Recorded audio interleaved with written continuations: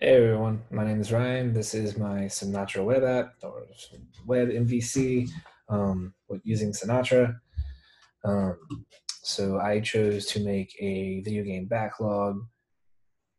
Uh, it allows the user to log in or register if they don't already have an account. Um, and once they do that, they can go to their library of games that they either haven't finished or haven't started. So to show how it works, obviously, like any um, anything like this, you just you log in, um, you create a new user. Uh, let's see. Just, I've done this a lot of time with fake users, so I gotta go. I gotta use the fourth one.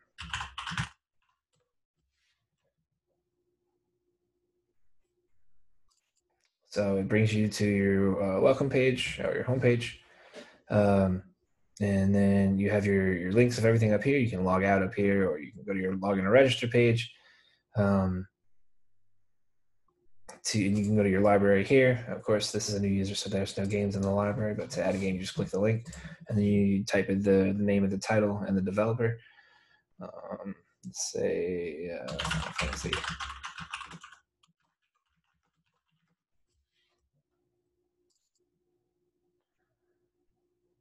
And then you have your show page, which uh, brings you to the page for each of an individual game, and then you can go back to your library, and it'll show it in a list format.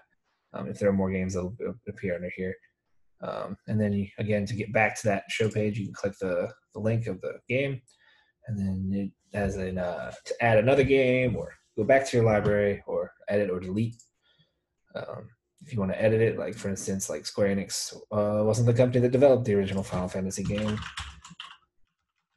it was actually Squaresoft. So to update that information, just hit submit. And then it's updated to say Squaresoft. Um, and then if you wanted to delete the game from the list, you just go to back to the editor delete and you just hit delete this game. Um, and then uh, the little flash uh, prompt notifies you that Final Fantasy was deleted successfully. Um, uh, a few other flash prompts. If you uh, log out, it tells you, thanks for stopping by. Um, and if you try to log in with a username that doesn't exist, then it tells you the invalid uh, invalid username or password. Um, if you try to register with a username that's already taken,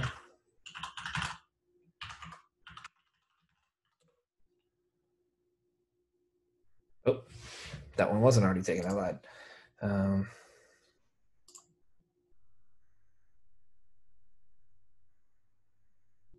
see, it tells you this uh, that that username is already taken. Please choose another.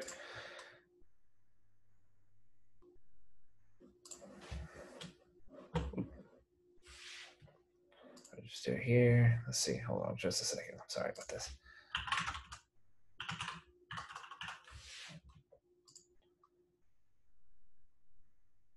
That's the username is already taken. Please choose another one. Um, but yeah, so I use a lot of these uh, little flash prompts.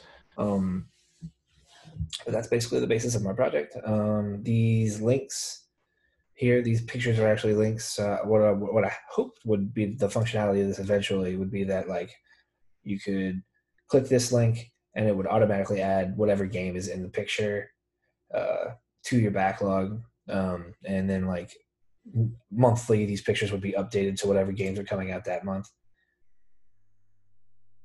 And if you uh, if you click the link and you're not logged in, it's going to ask you to log in first. So yeah, so that's my project. Um, I'm looking forward to my review. And I had a lot of fun doing this. So um, I'll see y'all soon.